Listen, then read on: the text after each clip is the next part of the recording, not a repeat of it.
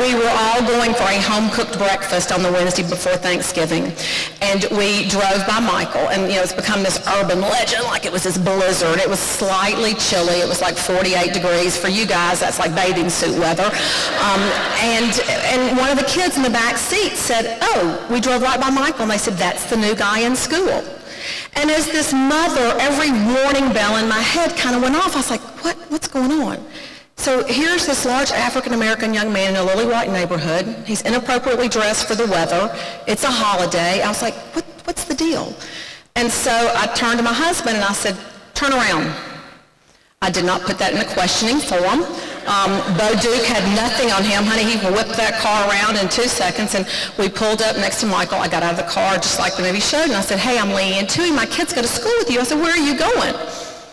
School. It's okay, here's the deal. I'm going to give you three boxes to check. School would not be one of them. It is a holiday. School is not open. I said, why are you going to school? I'm just going to shoot some hoops. Michael's a great basketball player. I said, no. I said, that would be breaking and entering. So I said, here's the deal.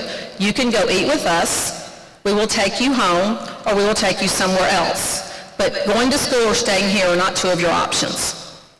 He wouldn't even look at me, wouldn't look up. I said, excuse me, I am talking to you. I said, you need to make a choice. I said, why don't you go eat breakfast with you? No. He said, can you take me to an express bus stop? I said, certainly I can.